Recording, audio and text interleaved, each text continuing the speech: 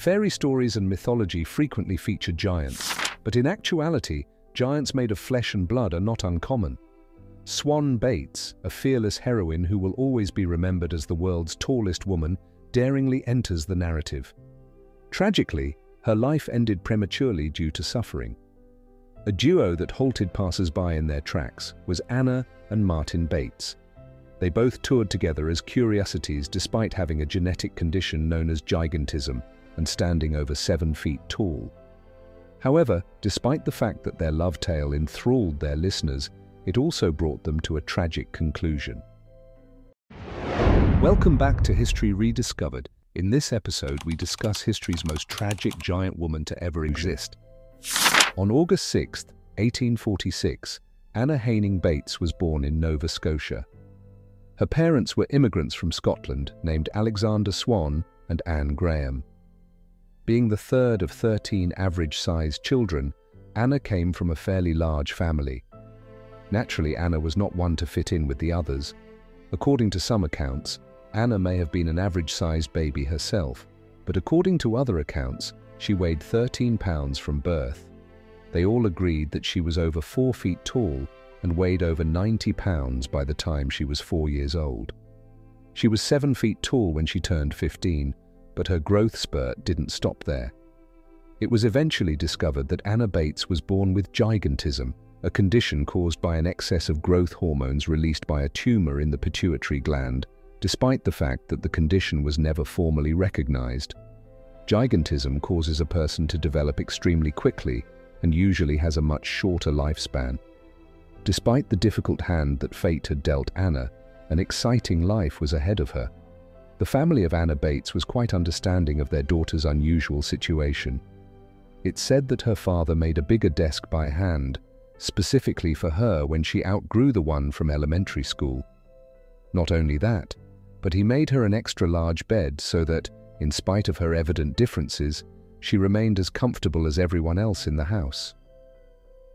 Sadly, though, he was powerless to shield her from the outer world. Anna turned into a spectacle for everyone. People in Nova Scotia started flocking to her family's farm in the hopes of seeing Anna as word of this small, large girl spread. The curiosity in her grew even more when articles about her started to appear in local newspapers. She was even called an infant giantess in one newspaper. Anna's family saw this as a significant opportunity as she was always a unique curiosity. Anna's family was in need of some money. They had little trouble assigning their other kids to labor because they were farmers and their exuberant daughter was no different. Anna continued to grow, therefore she often needed new expensive clothes and shoes. The family decided to put Anna to work by having her travel around local fairs as an attraction in order to help raise additional money. It should come as no surprise that there is some dispute concerning Anna's early touring career. Although it was understandable that her family needed the money, some claimed that her loved ones were taking advantage of her by showing her off. However, the majority of historians concur that her family remained truly concerned and made sure she was secure at all times by going with her on these tours and picking places that were more meant to pique people's attention than anything else. Anna wasn't always a tour guide, though. She used to take care of her younger siblings a lot, while also trying to read and concentrate on other artistic pursuits. She so tried her best to continue doing all of the regular activities that other kids did, even though her experience was undoubtedly unique.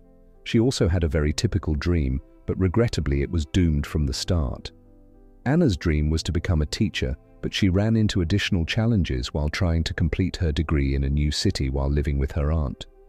Because of her stature, Anna felt that the classes were physically confining, and she was especially uncomfortable in this new town because people on the streets stared at her a lot. Her dreams of becoming a teacher were dashed by this therapy, but happily, bigger things were on the horizon for her. Anna's grandma used to give her advice on how to handle her size. Stand tall and be proud of your Highland ancestry. This helped keep her emotions stable and her self-worth in control. Anna strived to carve out a new position for herself in the world, and it seemed that this helped her deal with the fact that she was different from most people. She really reached high. Because of her height, Anna was able to pursue her employment and schooling at the same time when she moved to America in 1862 to work as the Nova Scotian giantess at the P.T. Barnum Museum. She received tutoring there and picked up singing and piano skills. She was presented with incredible chances by the museum, many of which were unheard of at the time. Anna got paid $23 a week in gold, which is currently $500. Incredibly, she was also granted a chaperone and given the opportunity to make additional money from the sale of images bearing her likeness, as long as her contract permitted her to retain the rights to those photos. Her family was relieved because they had been worried about her joining the Barnum Museum because they would no longer be around to support her and participate in her exhibitions.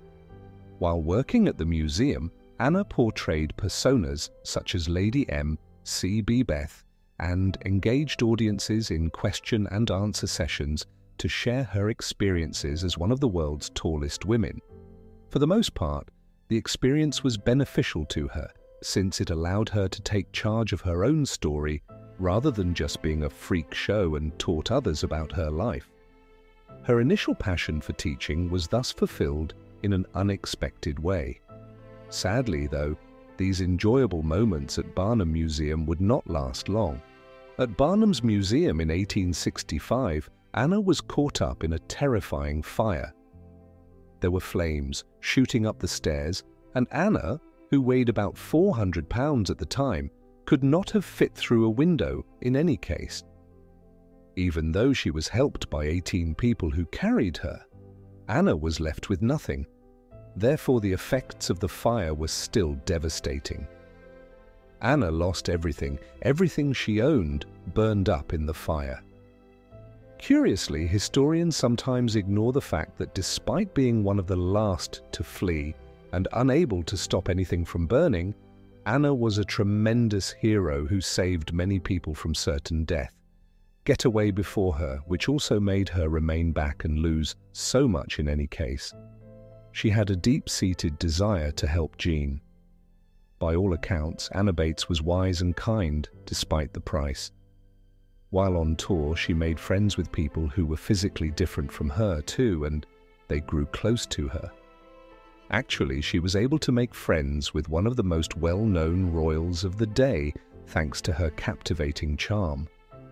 Because of her size, Anna was no stranger to travel. She made rounds across Europe and the United States, returning only sometimes to her birthplace in Nova Scotia in 1863. While on tour, she even became friends with Queen Victoria. As a draw in Europe, and despite the fact that the two didn't seem like your typical lady, they ended up becoming very different friends. Anna drew a lot of attention from suitors. Reports stated that she was approached with many proposals, but because of her performing career, she declined such offers. She found it very challenging to tell who was sincere, as opposed to when they were only interested in taking advantage of her money. But she later met a man who gave her hope for true love. While, while visiting a Halifax circus, Anna couldn't help but notice Martin Van Buren Bates, a man who was also over seven feet tall and weighing in at 500 pounds. It really is a story as ancient as every prince needs his princess and every giant needs her giant. Naturally, Martin and a publicist noticed Anna straight back, which led to some unexpected changes in both her work and her love life. After falling deeply in love and starting their nearly 150-year journey together as a circus act, Anna wed Martin in London in 1871. As the tallest married couple ever, Anna and Martin continue to hold the title in the Guinness Book of World Records. With a combined height of almost 477 centimeters, or 15 feet 8 inches, they surpass the tallest married pair alive by more than nearly 2 feet. Anna Bates is linked to multiple Guinness Book of World Records. We'll talk about the other one in a moment, but it was through this actual union that Anna Bates officially changed her last name from Swan to Bates. During this transformation, she was bestowed with a great blessing and was also mentioned at some point during her travels. In 1861, Bates became friends with Queen Victoria. Despite going through a deep sadness and intense grieving for the remainder of her life after losing her spouse, Prince Albert, the Queen's own grief did not lessen her admiration for other people's love tales. When rumours about Anna Bass's romantic awakening began to circulate in 1871, Queen Victoria made the decision to treat her particularly. The entertainer received more presents from her than just a bridal gown composed of 50 metres of lace and 100 metres of satin embroidered with orange blossoms. There is a rumour that Queen Victoria set up the St Martin in the Fields Church for the Bates wedding, the story of the two women's unexpected friendship is still an intriguing bit of legend, even though it's unclear if it is entirely accurate. Leaving speculation aside, there were certainly still a few more gifts from the Queen Anna in store for the Bates. Queen Victoria invited Bass back to Buckingham Palace, where he accepted the offer and was given a diamond cluster ring. Along with the chain, the bridegroom also received a gold watch. Later on, the pair had at least two additional meetings with the Queen and encountered a few other royals. A year after getting married, Bates and her new husband bought a large house near Seville, Ohio, with lots of property and special height requirements to fit their enormous statures. Huge ceilings and specially large entrances could be found in the main part of the house. Though things weren't always easy going, the couple made the decision to make the back of the house a moderate size to accommodate both servants and guests. Occasionally, the couple encountered the incorrect promoters while on tour with several companies. They were even thrown out of a train car on one occasion. Little information is available on why they were so unwelcome with certain promoters, but Bate appeared to bounce back from these setbacks. She had no trouble finding love elsewhere after all. Anna Bates was an animal lover now, very much so. Although she didn't like horse racing, she made it a point to take cattle and draft horses on the farm with her husband Martin. She also adopted animals that had retired from the circus. Her relatives still tell stories about a specific occasion in which she took in Buttons, a monkey that was notorious for making trouble with guests in 1872. Despite this, Bates and her husband were still a newlywed couple when they welcomed their first child together. But it ended in tragedy on May 19, 1872. A baby girl was born weighing 18 pounds. Sadly, though the girl did not survive childbirth, for Anna Bates, the loss was incredible, and unfortunately, similar ones would strike her later in life, six years after the birth of her stillborn Bates, became pregnant with a son in 1878. On January 18, 1879, her water broke and she reportedly lost six gallons of fluid, but she was in for an extremely rough labor. As the hours passed and the baby was crowned, the doctor came to a chilling realization. Abby's baby was so big the doctor couldn't fit his forceps around its head, and to usher the child into the world, they placed a bandage around its neck and pulled. He was a whopping 23 pounds, and Martin later wrote he looked at birth. This infant boy, who had only been born six months ago, was allegedly 30 inches, 75 centimetres long. While Anna's height is unknown, estimations place her at 71 inches, or 241 centimetres, tall, while her husband Martin was taller at 7 feet 9 inches, or 236 centimetres. Sadly, this was another misfortune delivery. Anna Bates brutally lost her motherhood just 11 hours after her baby child died. He was the largest infant ever documented, and as such, he was awarded a Guinness World Record posthumously. Bates was severely damaged by this second loss she suffered, and the effects had a lasting impact on her. Having lost two children, Bat fell into a deep depression. She no longer wanted to be on tour and withdrew socially to cope with her pain in many ways. This was the beginning of the end, although she attempted retouring with the circus again a bit later on, she ultimately withdrew once again after returning with the circus.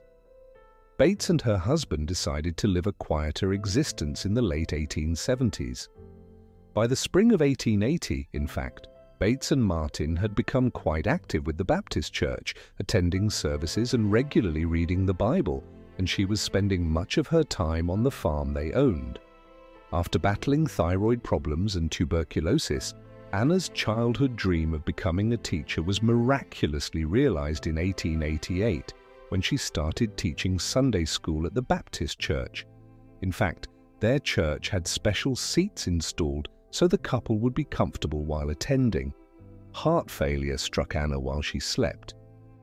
Because of this, she tragically never woke up to witness the passing of another year, Bates's husband, who passed away just one day before her 42nd birthday. To honor her, Martin had a monument built on her grave. A year later, he got remarried and left their house in Ohio to make room for his second wife, who was ordinary in size.